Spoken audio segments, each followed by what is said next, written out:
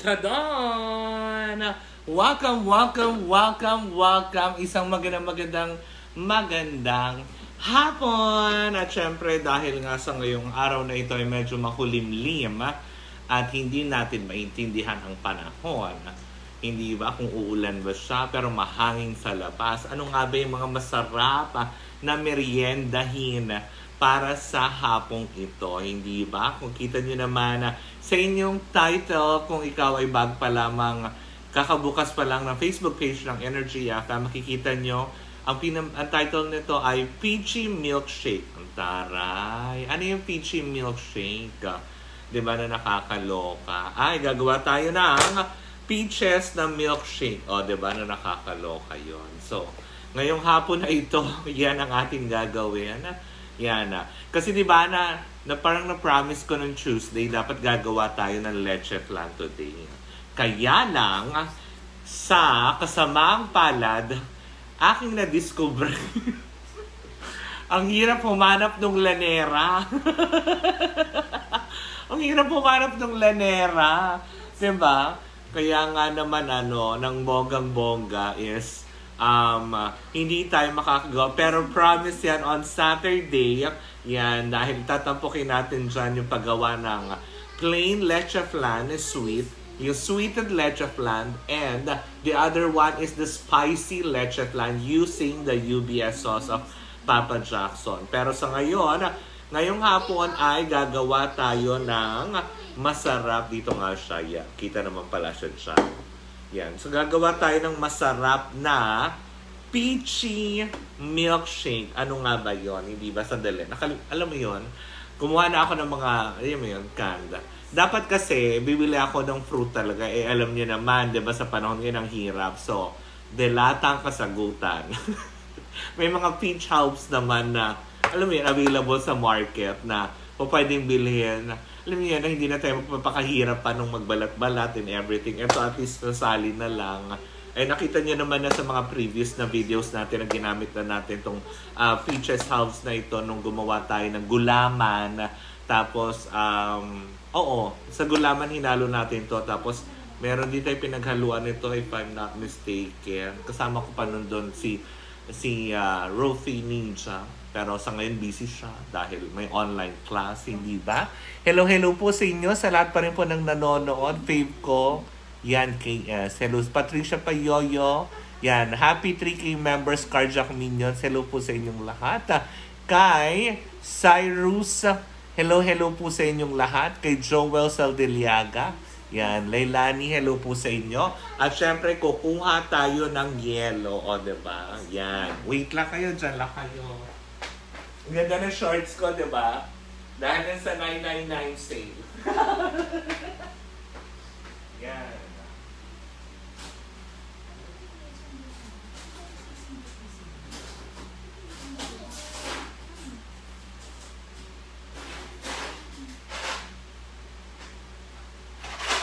Yeah, kumuha na tayo ng maraming yellow. Yan, kasi yan ang gagawin natin. Pero, sa ngayon, ang gagawin na natin, eto na.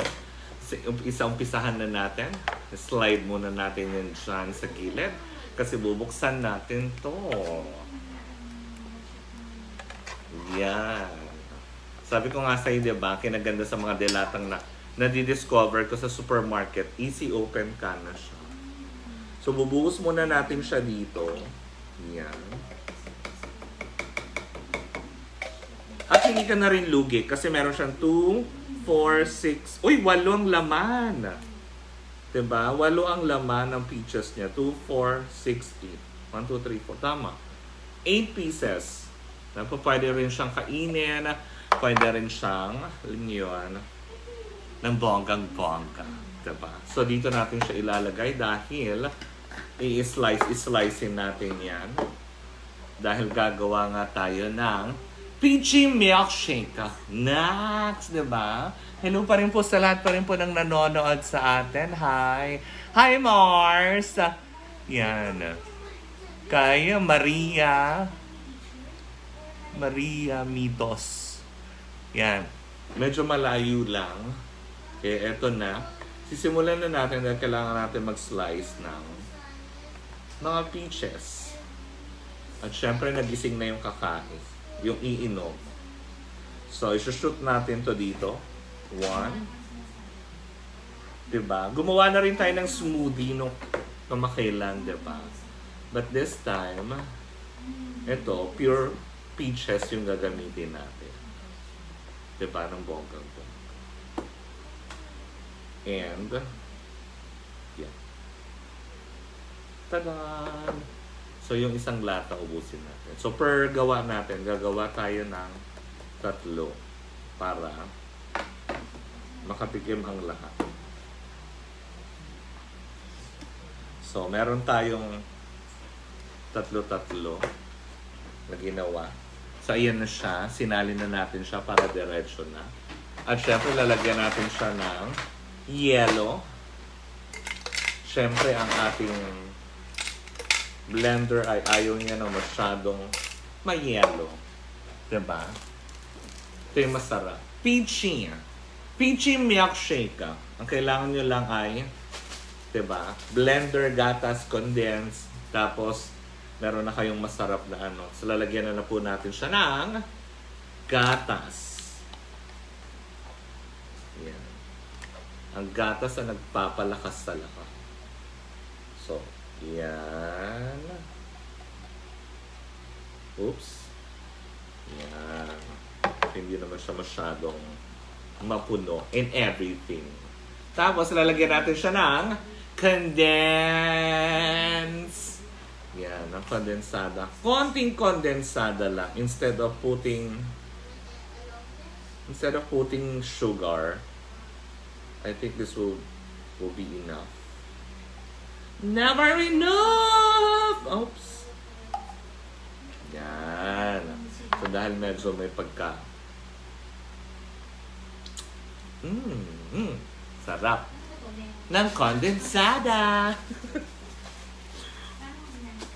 Yan, so tatakpan natin siya ng ganyan, ng very, very light. Tapos, yan. So may milk na nandyan na yung ano, silagyan natin ng condense. So ito yung ilalagay natin. Sana tama ako. Ay, ayaw niyang sumo. Yan. Oho. Oho. It's my thing. All the girls requesting me. Sent ko na. Kame kame.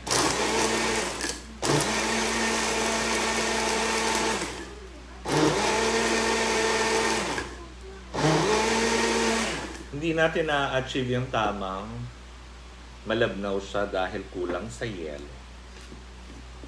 So lalagyan pa natin siya. Kasi nga 'di ba, sabi ko nga sa inyo, hindi naman natin siya pwedeng papaaw-apawin dahil oops. My heart went oops. Yan, dahil medyo yung ano niya, yung kapasidad niya, naks kapasidad.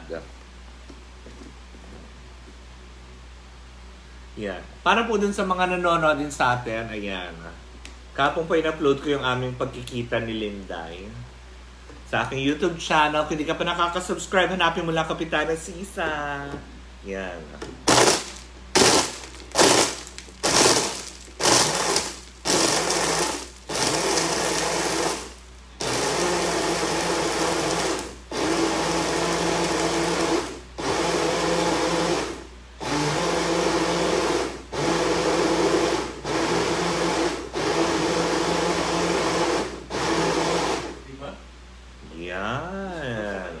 Ay, medyo nag...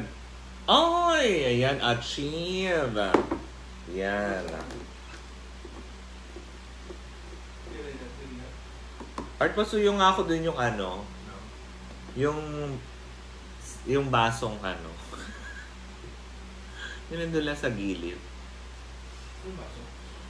Ay, hindi ako na, ako na, ako na. Wait lang.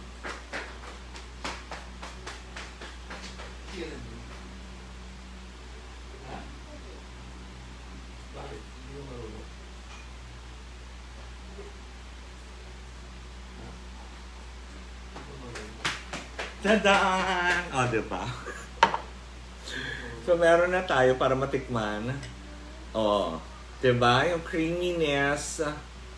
Yes, this is what I like. So, titikman natin.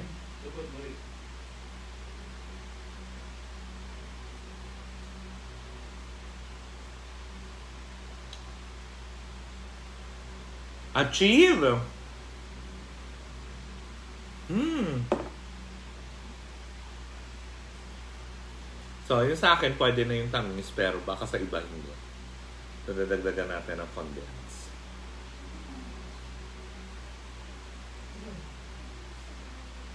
Masyado matamis. Gusto yun, matamis ay masyado sa akin. Hindi nga eh, wala nga akong nalalasahang tamis. Yeah, so.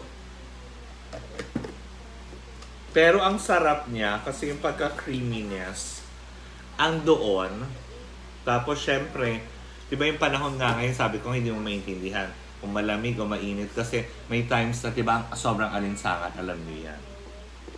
Sandali, tama ba ako ng pagkakashoot? Oops. Ah. Alam niyo, pwede niyo po itong um, dun sa mga nag-iisip ng ano kayo maganda, lalo pat malapit ng Pasko dahil bare months na, di ba? Nag-iisip kayo ng pwedeng gawing negosyo, this is the perfect, di ba? Yung isang lata lang na ganito, tapos tansyahin nyo lang na, di ba? Tapos yellow, gatas, kondensada, di ba? Alam nyo, ito yung mga ganito, wala pang, hindi kayo aabot nito ng 500 pesos na puhunan. Nasa tingin ko, is, di ba? Perfectly okay kayo doon. Hindi nga aabot siguro ng 400 pesos eh, itong mga ito. Tapos yellow. Tapos ilan yung magagawa nyo na sobrang smooth talaga, as in masarap talaga siya. Ay. Yan! Who likes to drink? Ayan. O ito, para gagawin ko dun sa isang baso. Yan. Painom mo kay Gretchen. Hmm. Anong baso? So, gagawa tayo ng...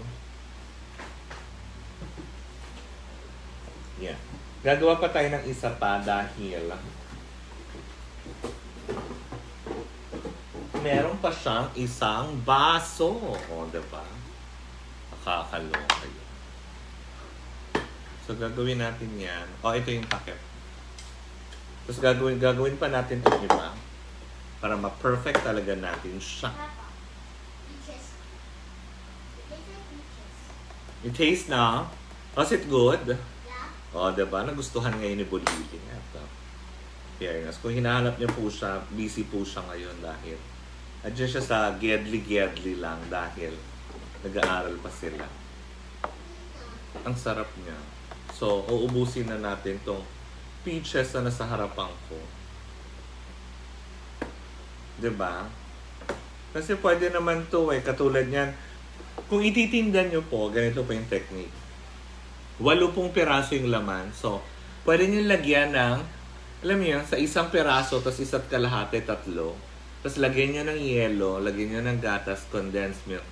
Pwede nyo na po siyang ratsyadahin para dun sa yung sa 12 ounce lang na plastic cups na po pwede. Tapos pwede nyo siyang ibenta. Siguro pwede yung pinakamahal na ibenta, 35 pesos na peaches shake.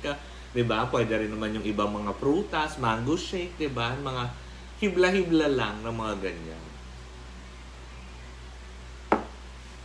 na pwede niyong pagkakitaan kahit papaano para makatulong din naman sa inyo, di ba? Na hindi lang basta ako dito nagluluto, hindi lang ako basta gumagawa dito na kung ano, binibigyan ko rin kayo ng idea kahit papaano, kung papaano kayo magsa-sideline, di ba? Yung sideline ninyo na paano nga ba tayo mag... O sabihin na nga natin may kinikita kayo ngayon, paano nga ba tayo magkakaroon ng extra? Kasi aminin man natin, di ba? Nung mga panahon na walang pandemya, ah, yung, yung mga racket-racket, di ba, is andyan sa kapaligiran, mabilis lang, so hindi natin iniinda. So, parang kumbaga ang datong ay mabilis lang para sa atin na kasi nandyan eh. Pero ngayon nagkaroon ng pandemya, meron man tayong ah, pumapasok na pera, pero saktuhan dahil nawa- nawala yung parang extra nating kita. So eto, gagawin na natin siya dahil lalagyan na natin siya. Siguro dapat konti lang yun. Hindi. Damihan natin yung milk. Yeah. Ha? Hindi, kasi yung una, konti lang yung peaches na nilagay ko eh. Ha, you finish it! Very good. Very good ka dyan, baby. Tapos lalagyan natin siya na condensada. Condensada. Yan, para hindi na kayo mag-add ng sugar. Alternate naman to. Na, tansyahan nyo lang din. Kasi syempre yung sugar hindi natin, although mas matamis din to, kaya lang kahit pa paano, matatansyan nyo ito, not like sa sugar. Kasi mas madali pong habulin kaysa sumobra. Diba? Mas madaling habulin yung lasa kaysa yung sobra siya total. Yan. Hmm. Ang sarap. Ang sarap ng kondensada. Ang sarap ng kondensada. So, ito na ang ating peachy milkshake. So, ito, feeling ko, itong ginagawa ko ngayon. Siguro, kung sa malaking blender nyo to ilalagay, yung walo na yan, siguro makakagawa yan na sabihin na natin na ilang ilang baso, ba? So tatansyahin niyo lang talaga ng bongga.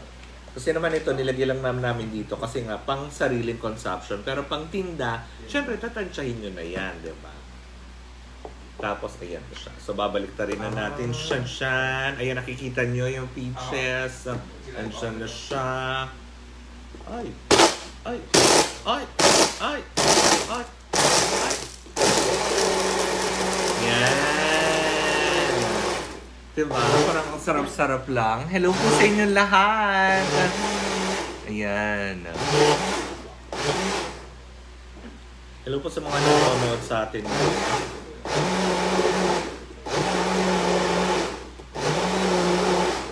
Eto na, eto na. Yan. Hindi ko lang alam kung talagang mahina yung internet ko. Hindi ko masyado nakikita mo. Dahil siguro sa weather.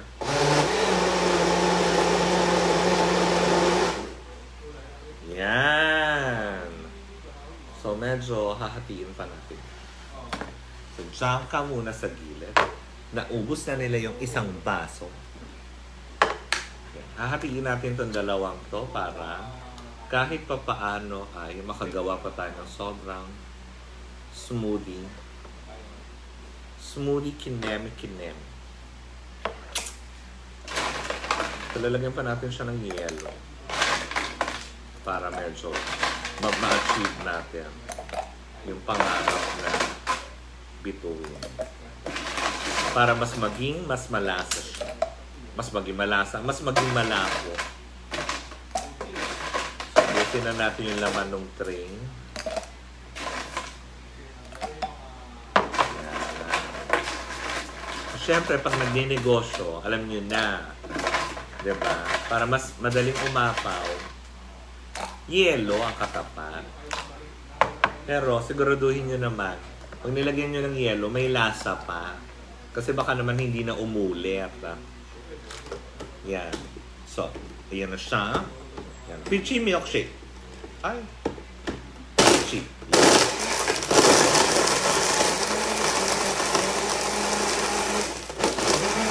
Yan. Hello pa rin po sa lahat pa rin po ng nanonood sa atin. Hi, show.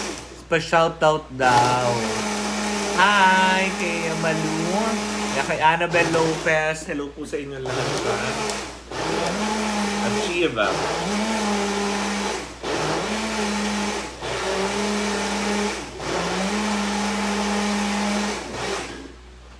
Achieve na achieve natin yan. Ayan, o, oh, diba? Mas na-achieve dahil sa yellow. Yan naman ang sikreto ng mga milkshake eh. Yellow. ba? Siyempre pag yung iba nagtitinda, may dayaang nang nagaganap. Konti na lang yung laman, mas puno ang yellow. Pag milkshake. ba? Yan. So, wait. Ayaw niya. Yan.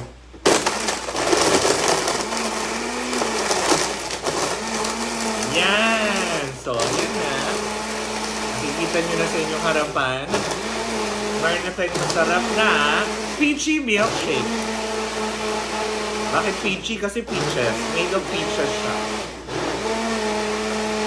Ito yung mga magagandang ah, source of vitamins for the kids, lalo sa inyong pamilya. Siyempre, di ba, yung iba na hindi naman talaga ma-vitamins and everything. Lalo sa mga bagets ngayon, di ba? Dahil pa, papa, alam mo, nagpapalitan ng weather eh. So, yung mga weather na ganyan, pag medyo makulimlim, dapat, ang binibigay na natin is mga masusustansyang pagkain. Ah, mas maganda kung galing talaga sa natural. Natural food. Tulad na lang ng peaches na to, may, may vitamins din naman siyang taglay. Kasi syempre fruit naman siya, diba? So syempre dahil sa gatas and of course, ah, wala naman tayong hinalong iba na pwedeng makasama, diba? So ayan, there you have it, our peaches delight. Yan. Aha. So dito na natin siya itatakpa. Ayan. So dito natin siya ilalagay. So titikim ito tayo ng konti para magkaroon ng lasa. And there you have it! Ayan, ang ating peaches, peachy milkshake for this afternoon para sa inyong lahat. Ang sarap!